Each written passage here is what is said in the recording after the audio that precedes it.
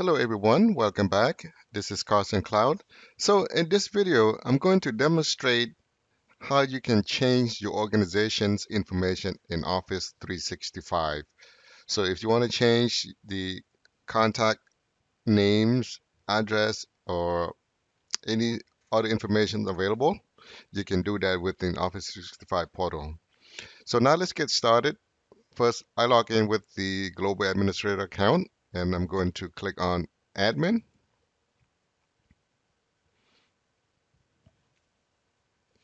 And under Admin, you want to go to Show All.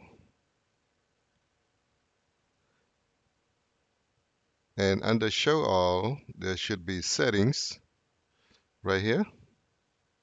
And under Settings, you want to click Settings.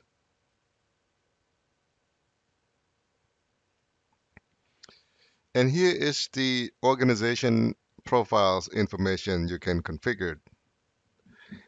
The first one is custom app launcher. You can add or delete a custom app launcher. For example, if I want to click on add a custom tile, click on add, and I would give it an, um, a tile name, the website information, then maybe like a SharePoint site, or external website and the URL image. Also some description you can enter. So that's the app launcher. And the next one is the custom theme. If you click on it you can change or upload the logo image. And the it gives you the information here on the size and the pixels. And if you want to remove, just click on remove and make the logo clickable. If you enable that, the user able click on the logo and it's take them to the certain locations. And select background image, you can add the background image apply a custom theme. You can change different colors or you can click on Office 365 theme organization. It's going to it's going to take me to the article how to do that. Let's go back here. Uh, let's see, text color, accent color, prevent user from override their theme. You can enable that so user cannot change it. Show the, dis the user display name. Name appear on top of navigation bar when the user sign in. Long names may be shortened. So it has a um, number of characters. So you can enable that if you want to.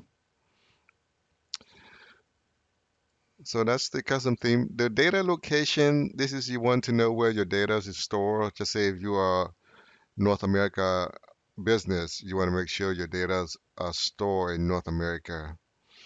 This is for Exchange. The data stored in North America.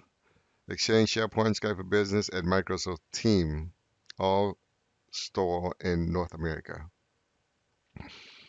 And if you want more information, you click on Learn More Office 365 Trust Center. Help desk information you can enter help desk information here, add your help desk, title, phone number, email address, and the website of the help desk. Additional information, click on learn more.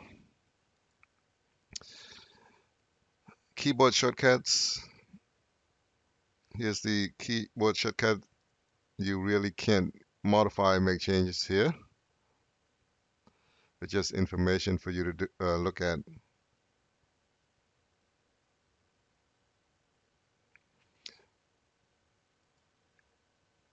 Organization information. Here you want to change the name. I'm going to change this to Carson Cloud channel. I'll call it YouTube channel.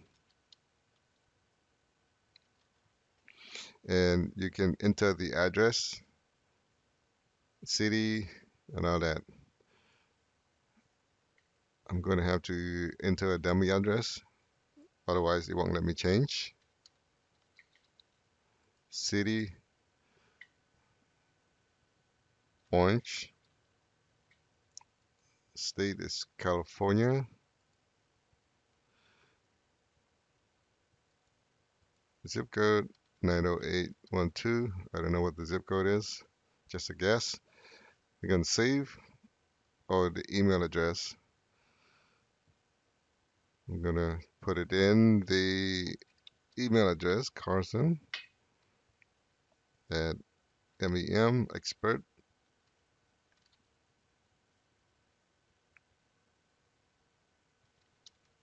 dot com. Language is English. Click on save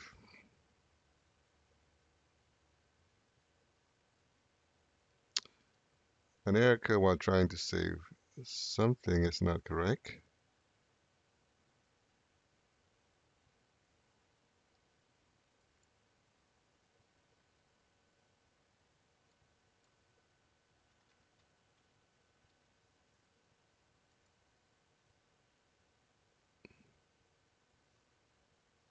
An error while trying the settings. Okay that's English.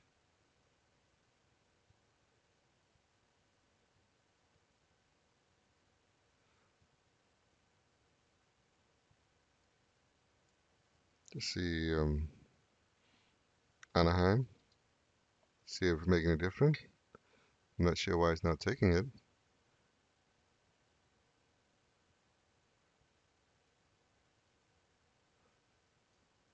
I guess it didn't take the city orange.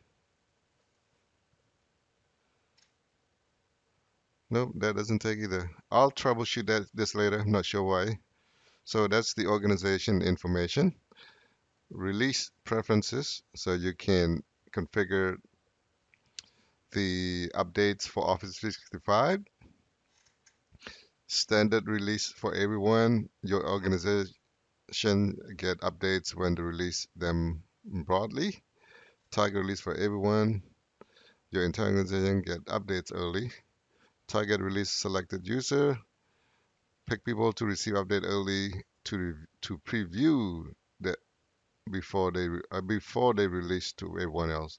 So this is called uh, this is regarding the uh, Microsoft release update or feature updates. You can do um, target release. So you select the user you want to get the update from Microsoft. I'm going to click Save Change and you can select the users here. So that's it. That's the um, organization profiles configuration on settings in Office 365. If you guys like the video, please don't forget to subscribe to my channel and have a great day.